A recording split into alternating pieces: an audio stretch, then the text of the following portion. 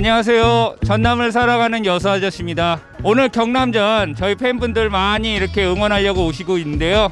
저희 승리도 좋지만 감동할 수 있는 그런 뜨거운 경기 부탁드립니다. 전남 드래곤즈 화이팅!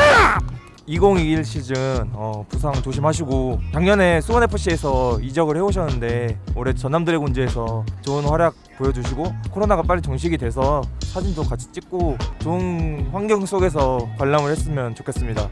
장성재 화이팅! 전남 드래곤즈 화이팅! 네, 이유현 선수 화이팅! 전남 승격하길 응원할게요. 화이팅! 김다솔 clean sheet 가자. 화이팅!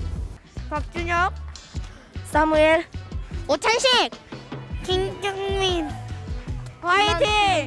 전남 화이팅!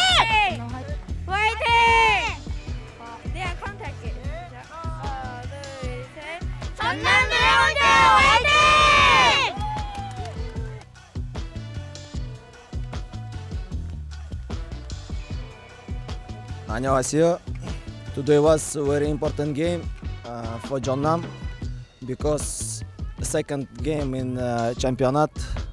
I am very happy today win. All team, all players, uh, all staff coach, uh, very good job. I hope the next game uh, victory too.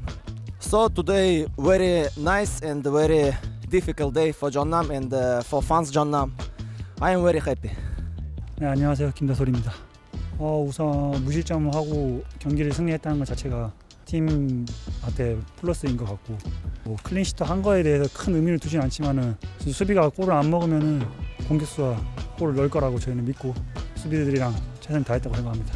뭐 어떻게 경기를 대비하고 그런 걸 떠나서 저희가 준비하는 거에 있어서 최선을 다한다고 하면은 두 경기도 저희가 승리할 수 있을 거라고 생각하고 있습니다.